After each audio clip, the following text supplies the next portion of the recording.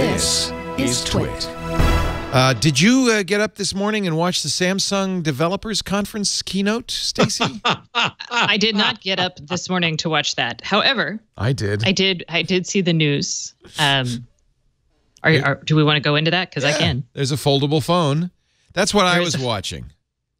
It you know it looked really cool in the demos, but then someone was tweeting how with the lights on you can clearly see the the be- the the, the line the Well, line the- of demarcation. The guy who was demonstrating it said, "This is not what it looks like. This is we've hidden it inside a case. This is normal practice with a new phone. Apple does it too. They hide them inside of kind of industrial generic cases so you can't see the details.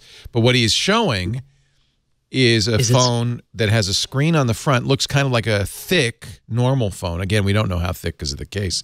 And I'm then getting dizzy watching that loop.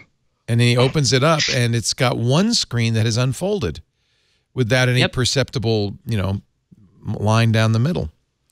so yeah, in the in the other video with the lights on, you see the line down the middle.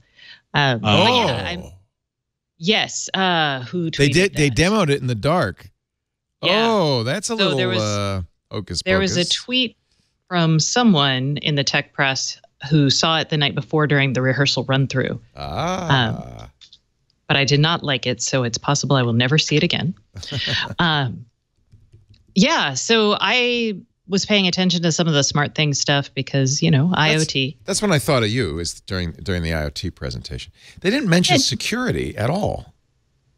Um, well, uh, They mentioned interoperability. That seemed to be a key. yeah, this them. is this is a different interoperability than uh, they had pitched. So I've been watching Samsung do this for let's see, 2014 CES 2014 maybe it was or 2013 when uh, Samsung's oh who was it who keynoted and he just was like la la la Internet of Things hand holding everything's going to be magic. This was kind of a return to that. yeah. And the problem is they're grafting this vision, which is actually still very Samsung centric, onto a platform that was designed for super nerds. And the super nerds hate the platform. And the normal people are looking at this and going, why the hell do I want my dishwasher to talk to my television? Yeah, And- the, the demo they used had a refrigerator with a screen bigger than this on it. I mean, it was Yeah. huge. So, you know, I could be doing Twig from my my refrigerator Yeah, cam one day. I don't think so. Uh, I'm not. in- I'm not a fan.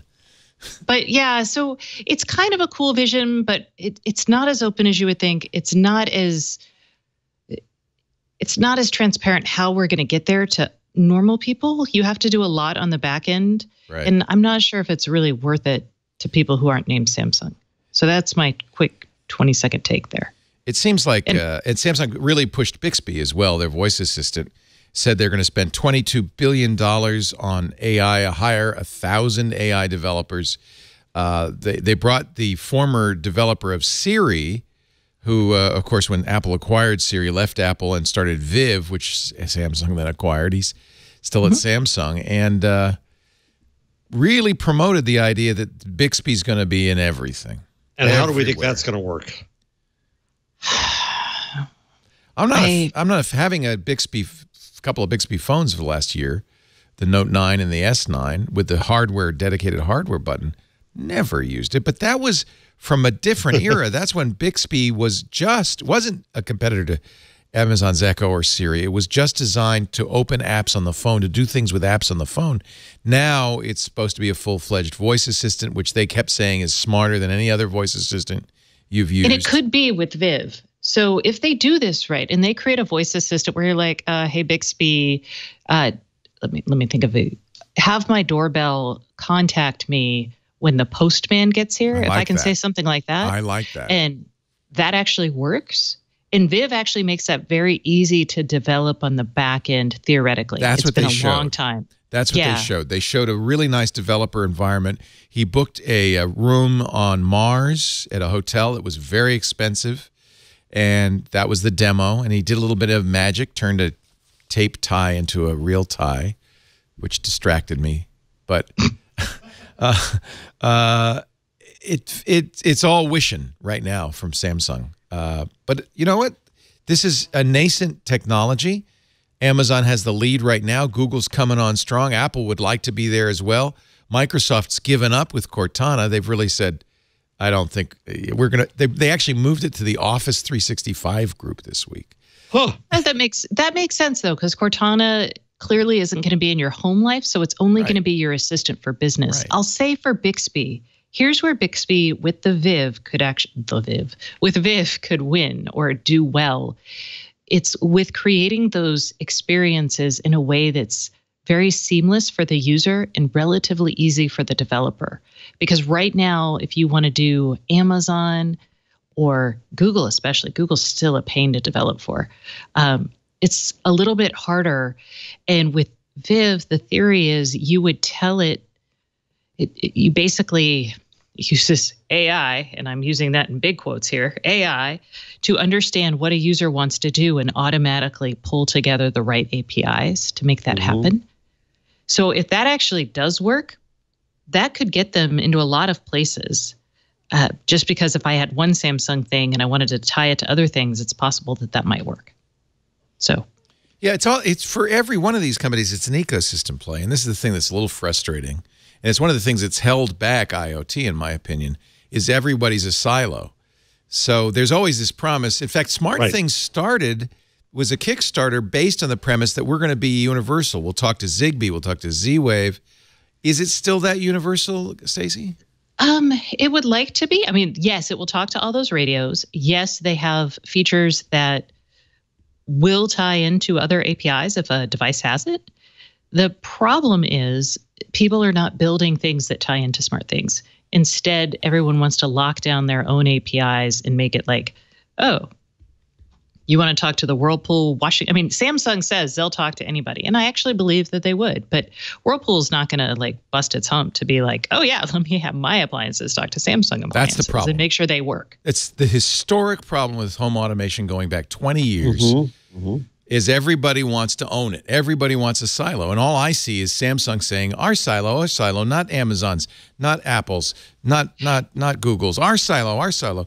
And uh, nobody wants to be, uh, like maybe, I, it feels like nobody, no consumer wants to say, okay, I'm just going to buy all Apple stuff. It'll all work Yeah, better. and in well, consumers do actually buy all Apple stuff just to make it work better. They're the That's only one. Craziness. That's the only but- company. Samsung, no, right? Well, Are people the, the loyal to Samsung and say, I'm only going to buy Samsung stuff? Some, Mm. some countries. I mean, uh, I'm sure some. Yeah, I bet in Korea, South Korea, Korea, they're yeah. really big there. Um, it's not just. I mean, the pro- one of the problems is we don't have. That's what OCF was trying to do. We don't have the equivalent of a, a hypertext, you know, th- for the Internet of Things. So we don't have a data schema that everything uses that you can kind of build around. You have to do custom for everything. And that was the problem that we all saw back in 2013, even when Samsung was like, we'll be open, it'll be amazing.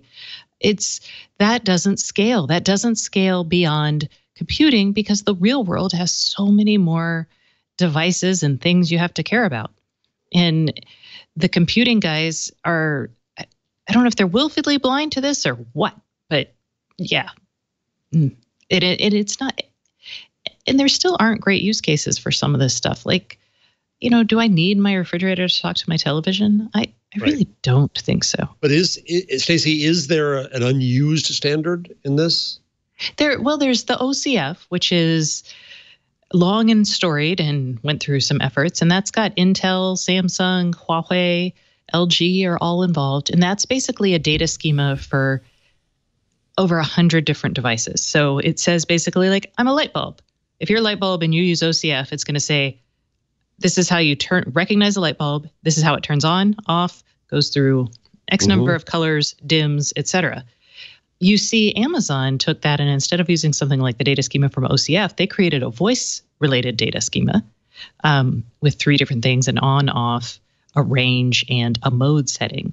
So again, that's that's another way of doing it. And they exist. There's just a lot of them. What would it take? I'm asking the two of you. For you to, I mean, Stacey is actually a bad person to ask because you do all of this. You try it all. You've got blinds that won't open, but could if Andrew would just say the right words, that kind of thing. Uh, but so maybe I should ask Jeff, but I'll ask you, Stacey. Put yourself in a normal person's mindset.